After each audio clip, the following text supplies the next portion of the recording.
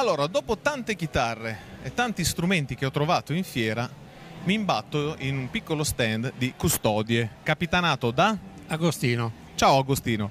Allora, una passione strana, quella delle custodie. Beh, eh, non è strana, io suono da quando avevo 10 anni, adesso sono 64, perciò... Mi hai messe lì di Sì, sì. E diciamo che dal 2004 ho iniziato a produrre custodie per chitarra e basso delle, delle più famose, più vendute, diciamo come custodie.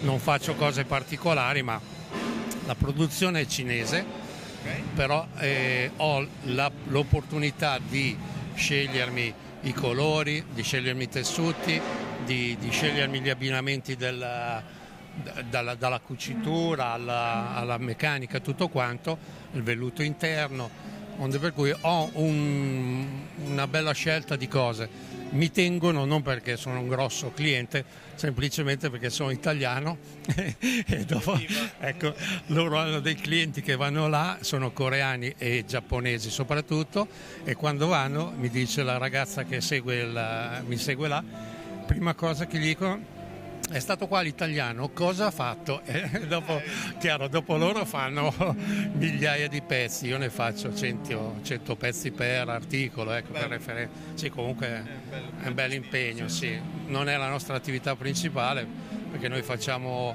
sempre importazioni di fiori artificiali che non c'entra un tubo, però questa è la mia passione. Immagino poi i musicisti poi evolgono la passione, no? Eh, chi diventa fonico, chi diventa eh, autore, chi diventa... Chi resta un brocco come me, nonostante 50 anni, però, Però, esatto, per nell'ambiente- sei passato- Esatto, bisogna fare questo.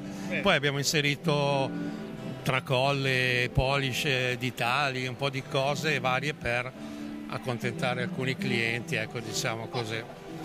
Allora, grazie, io ti ringrazio davvero, complimenti, eh, buona fiera e buon proseguimento. Ciao a tutti!